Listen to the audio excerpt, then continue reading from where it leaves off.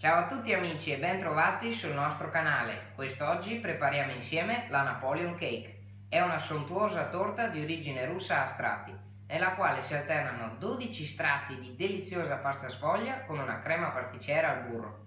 Le sue origini sono abbastanza incerte e si pensa che risalga alla campagna napoleonica per la conquista della Russia. Si potrebbe definire come la variante della mille foglie italiana. Con il tempo è diventata il dolce nazionale appunto della Russia, poiché ogni famiglia ha la propria variante. Si potrebbe definire come la variante russa della mille foglie italiana. Con il tempo è diventata un vero e proprio dolce nazionale, poiché la preparazione è tipicamente casalinga e ogni famiglia ha la sua variante. La Napoleon Cake è un dolce importante, perfetto per tutte le occasioni speciali, da un compleanno a concludere un bellissimo pranzo in famiglia. La sua preparazione richiede un pochino di attenzione e tempo, ma vi assicuriamo che i risultati saranno sicuramente appaganti. Iniziamo! In un mixer mettiamo 500 g di farina 00 170 g di farina Manitoba e 400 g di burro freddo dal frigo a cubetti. Frulliamo fino ad ottenere un composto sabbioso.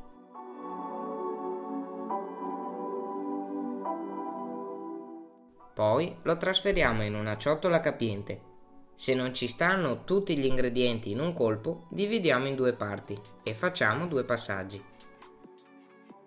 Mettiamo la ciotola da parte e prendiamo un contenitore dove mettiamo due uova e le sbattiamo un po'. Aggiungiamo mezzo cucchiaino di sale, 150 ml di acqua fredda dal freezer e un cucchiaino di aceto di mele.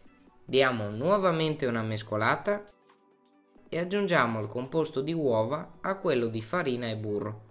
Amalgamiamo gli ingredienti con una marisa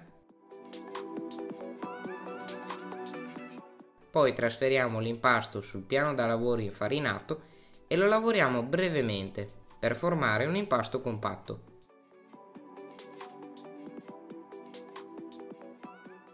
Formiamo un salsicciotto e dividiamo in 12 parti uguali con un tarocco. Aiutandoci con le mani formiamo una pallina che andiamo a pirlare un pochino per renderla sferica.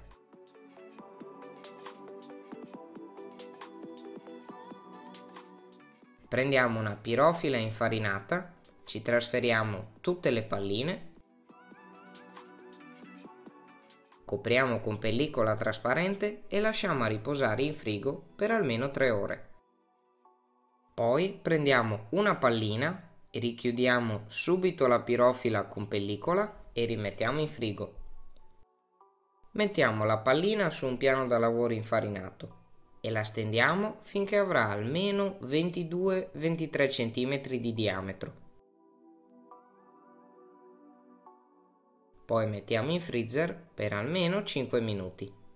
Con una forchetta bucherelliamo tutta la superficie, infine cuociamo a forno ventilato 200 gradi per circa 10 minuti, ossia fino alla doratura.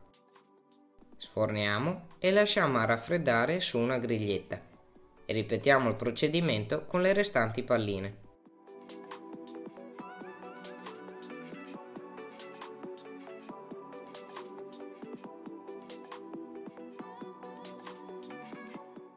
Prendiamo un disco di pasta sfoglia e ritagliamo la forma di un cerchio di 20 cm di diametro con un coltello.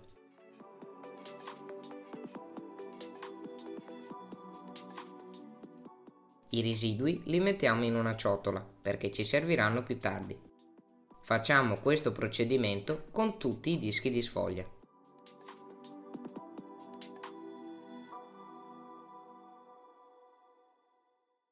Adesso prepariamo la crema. Quindi in una pentola mettiamo 750 ml di latte intero a scaldare a fiamma bassa. Poi prendiamo una bacca di vaniglia bourbon e ne ricaviamo i semi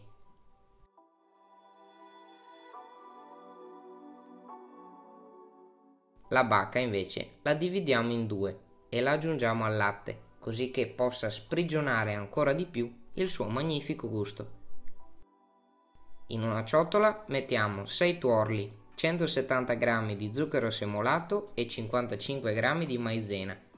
Mescoliamo fino ad ottenere una crema omogenea.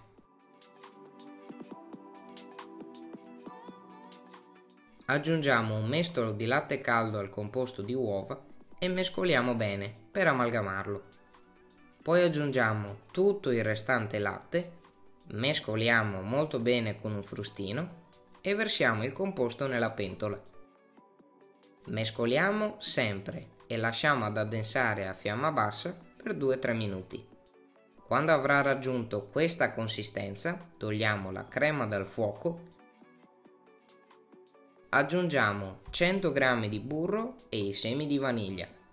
Poi mescoliamo finché saranno amalgamati. E trasferiamo in una ciotola capiente. Copriamo con pellicola trasparente a contatto e lasciamo raffreddare a temperatura ambiente.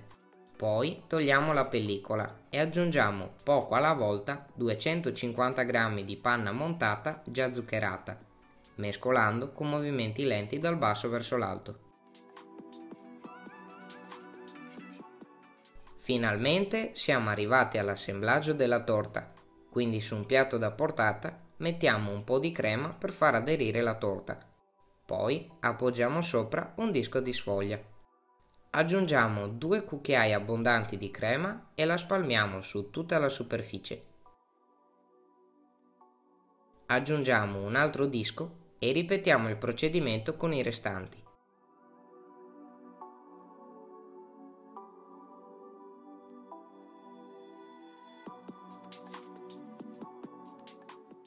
Dopo aver spalmato la crema anche sull'ultimo strato, ricopriamo la torta con la restante crema, aiutandoci con una spatolina.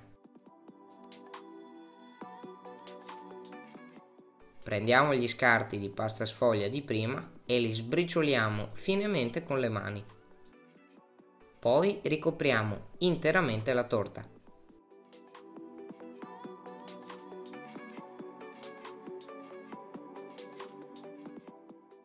E voilà! Ecco la nostra torta Napoleone. Mettiamo in frigo per tutta la notte.